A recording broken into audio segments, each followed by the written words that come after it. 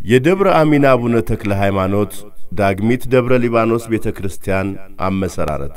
ናቲ የቲ ደብረ አሚን ተክለ ሃይማኖት።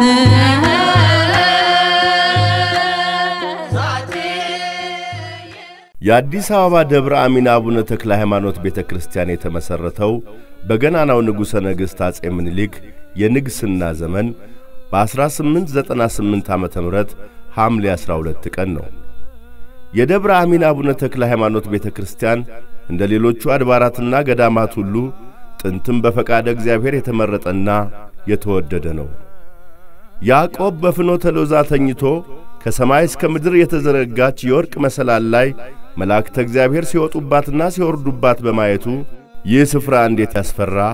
ይህ ስፍራ የእግዚአብሔር ቤት ነው እንጂ ሌላ አይደለም፣ ይህም የሰማይ ደጅ ነው ብሎ ተንተርሶት የነበረውን ድንጋይ ወስዶ ሐውልት አድርጎ አቆመው። በላዩም ዘይትን አፈሰሰበት፣ ቦታውም ከበረ። ሐዲስ ሐዋርያ ዘኢትዮጵያ የተባሉ ጻድቁ አባታችን ተክለ ሃይማኖት ለሐዋርያዊ ተልእኮ ወይም አገልግሎት ወደ ደቡብ ኢትዮጵያ ሲጓዙ ይህንን ስፍራ ባርከው ቆመው እንደ ጸለዩበት ሊቃነ አበው ያስተምራሉ። ስፍራው ለብዙ ዓመታት ጫካ ሆኖ ከቆየ በኋላ በዳግማዊ አጼ ምኒልክ ዘመነ መንግሥት ዳግም የቦታው ትንሣኤ ተገልጿል።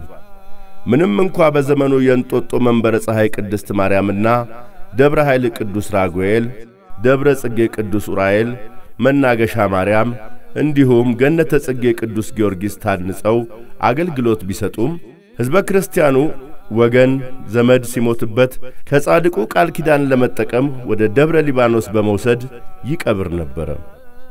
መኳንንቱና መሳፍንቱም ለቀብር ሄደው ሦስት ቀን ሰልስት፣ ሳምንት፣ ዐሥራ ሁለት ወርና አርባ አውጥተው ከርመው ይመለሱ ነበር።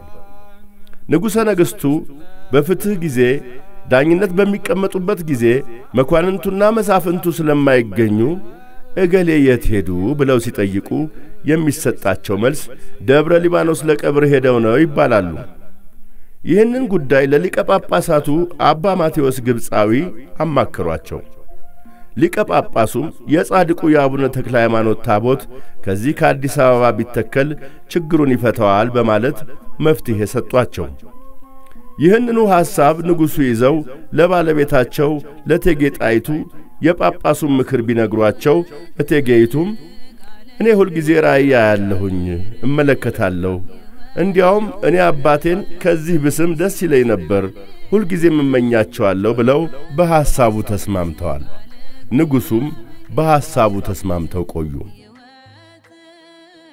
በመሃሉ ዳግማዊ አጼ ምኒልክ ወደ እንጦጦ ማርያም ክብረ በዓል ለማክበር ከአዲስ ዓለም ማርያም ተነስተው ሲጓዙ በዚህ ስፍራ መሽቶባቸው ድንኳን አስተክለው ዕረፍት ያደርጋሉ። ሌሊት ተኝተው ሳለ በቦታው ላይ እንደ ቅዱስ ያዕቆብ ከሰማይ እስከ ምድር የብርሃን አምድ ተተክሎ ራእይን አይተዋል። በዚህም ቦታው ወይም ስፍራው በእግዚአብሔር የተባረከ እንደሆነ ተረድተዋል። በማግስቱ በእንጦጦ ማርያም የእመቤታችንን በዓል እያከበሩ ሳለ አንድ ባህታዊ ከንጉሠ ነገሥቱ ከፊት ፊት እየሄደ ሌሊት ንጉሡ ስላዩት ራእይ እየጮኸ ይናገራል። እርሳቸውም ጉዳዩን በልባቸው ይዘው ከክብረ በዓሉ በኋላ በአዳራሽ ወይም ግብር ቤት ሳሉ ባህታዊውን አስፈልገው እንዲያመጡላቸው ትእዛዝ ሰጡ። ያም ባህታዊ እርሳቸው ዘንድ ቀርቦ እንዲናገር አደረጉት። እርሱም ንጉሡ ስላዩት ቦታ ቤተ ክርስቲያን ሰርተው እንዲያስገቡ ከእግዚአብሔር እንደ ተፈቀደላቸው ነገራቸው። እርሳቸውም አስቀድመው ከሊቀ ጳጳሳቱና ከመኳንንቱ ጋር መክረው የነበረ ጉዳይ በእግዚአብሔር ፈቃድ ቦታው መመረጡን ተደንቀው የሚመለከታቸውን ሰዎች አስጠሩና መከሩበት። ይህ ስፍራ የንጉሥ ወልደ ጊዮርጊስ ርስት በመሆኑ ከእርሳቸው ጋር የሚዋሰኑትን በሰሜን በኩል ፊት አውራሪ ሀብተ ጊዮርጊስ፣ ከደቡብ ራስ ተሰማንና ከምሥራቅ ደጃዝማች ወልደ ገብርኤልን ሰብስበው አወያዩ። አዲስ አበባ በቅርቡ የተቆረቆረች በመሆኗ ሕዝቡን ለማሰባሰብ ቤተ ክርስቲያን መሰራቱ ሁሉ ስላመኑበት ውል ገብተው ተፈራርመው አዋሳኝ ቦታውን ከልለው ለቤተ ክርስቲያኑ ማነጫ ሰጥተዋል። የጥንት ይዞታው በአሁኑ አጠራር በምዕራብ በኩል እስከ ንጉሥ ወልደ ጊዮርጊስ እድገት በሥራ ትምህርት ቤት፣ በምሥራቅ እስከ አሰብ ሆቴል፣ በደቡብ በኩል እስከ ጥቁር አንበሳ ሆስፒታል፣ በስተ ሰሜን እስከ ሲኒማ ራስ ይደርስ ነበር። የአባታችን የጻድቁ የቅዱስ ተክለ ሃይማኖት ጽላት አመጣጡም ቢሆን ዳግማዊ አጼ ምኒልክ በተለያዩ ክፍላተ ሀገር አብያተ ክርስቲያን በተከሉ ጊዜ ጽላት ከኢቲሳ ተክለ ሃይማኖት እያስመጡ ነበር አክብረው የሚያስገቡት። እንደዚሁ ሁሉ ለአዲሱ ቤተ ክርስቲያን ከኢቲሳ እንዲመጣ ሐሳብ ቢያቀርቡም መኳንንቶቹ አስቀድመን በዚሁ ከተማ እንፈልግና ካጣን በኋላ ከኢቲሳ እናስመጣለን በማለት ተስማሙ።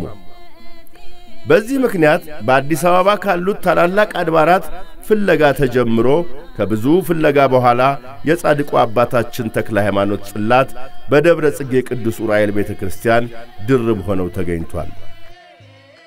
ከዚያም የአባታችንን ጽላት ከአሥራ ሁለት ካህናት ጋር ይዘው እንዲመጡ ተወስኖ ለመጀመሪያ ጊዜ አሁን ከዕቃ ቤቱ ጀርባ አገልግሎት መቃኞ ሰርተው ለጊዜው በዚያ እንዲያርፍ ተደርጓል።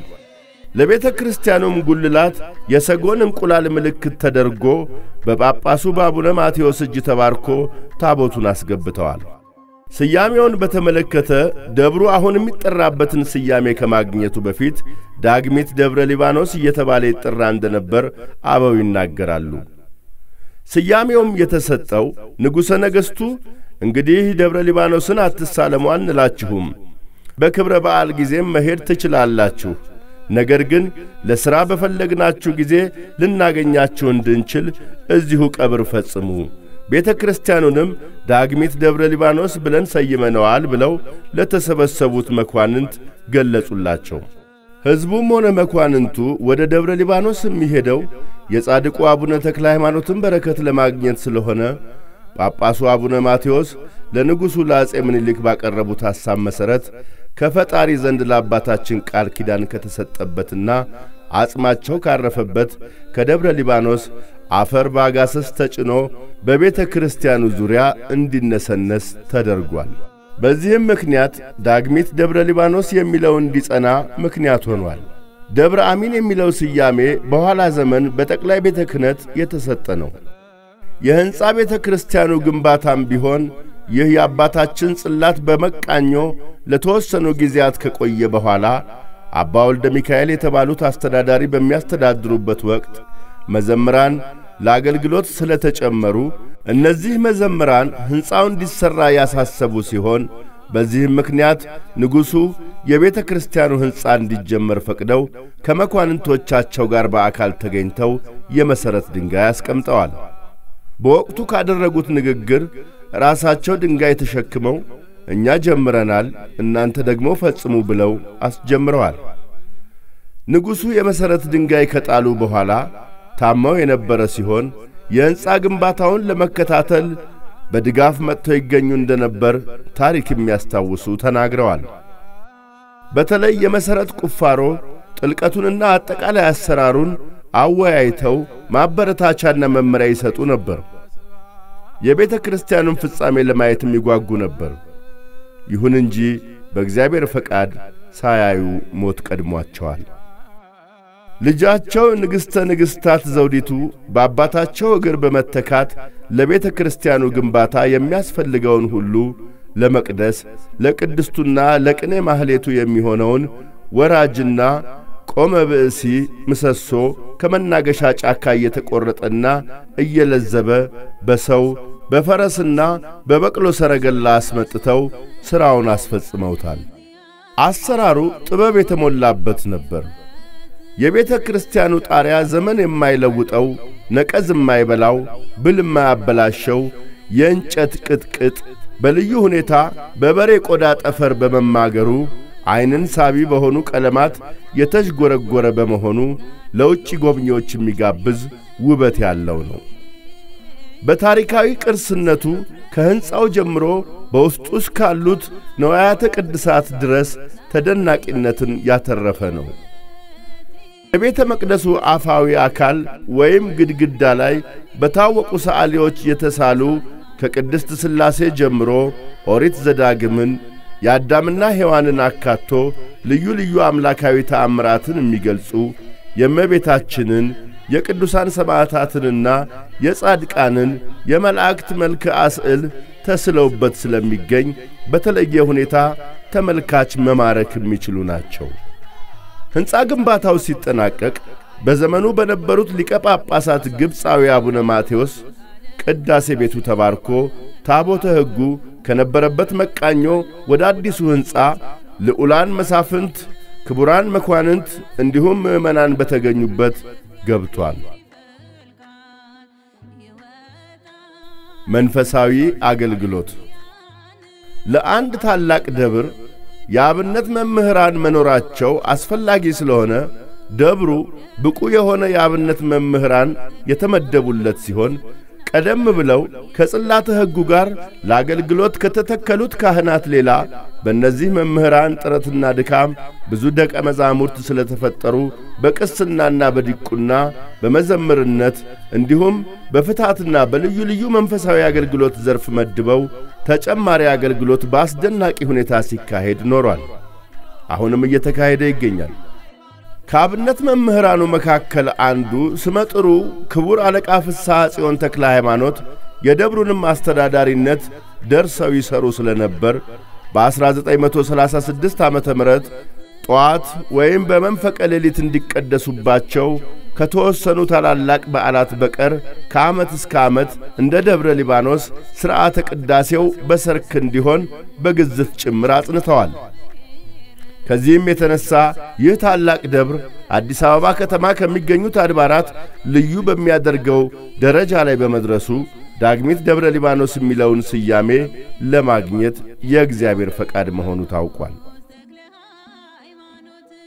ስለ ቤተ ክርስቲያን ሕንፃ መሻሻል ጥንታዊው ቤተ ክርስቲያን አሰራሩ ውብና አስደናቂ ቢሆንም የጣራው አቀማመጥ አንድ ወጥ ከመሆኑ የተነሣ በተለይ ቅድስቱ ብርሃን የማይታይበት ጨለማ ስለሆነ የቤተ ክርስቲያኑን ውበትና ከፍ ብሎ የተገለጹትን ዘመናዊ ስዕሎች በተጣራ ሁኔታ በመመልከት ከፍተኛ ችግር ስለነበር ከአንዳንድ ተመልካቾች በቀረበው ሐሳብ መነሻነት በመልአከ አሚን ዘካርያስ ኃይለ ማርያም አሁን ብፁዕ አቡነ ቀውስጦስ በሚያስተዳድሩበት ዘመን ካህናቱና ምዕመናን ከእርሳቸው ጋር ተሰባስበው ባደረጉት ውይይት ፎቶው ከዚህ በታች በሚታየው ሁኔታ እንዲሻሻል ተወስኖ በመሰራቱ ጎብኚዎች ወይም ምዕመናን የቤተ ክርስቲያኑን የውስጥ አካል በተጣራ እንዲመለከቱ ለማድረግ ተችሏል።